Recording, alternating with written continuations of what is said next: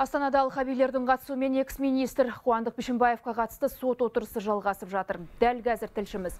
Еркебұлан Смадияров бізбен тікелей байланысқа шығып тұр. Еркебұлан армысыз, қандай ақпаратпен бөлісесіз?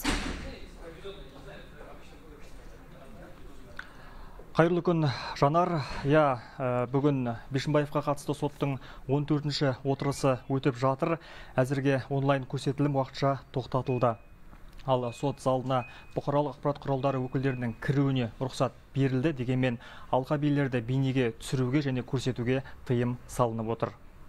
Ал судья құлбаева жеке қауіпсіздік шараларымен қамтамасыз етілді. Өйткені оған әлдекімдер хабарласып және хабарлама жіберіп қорқытқан көрінеді.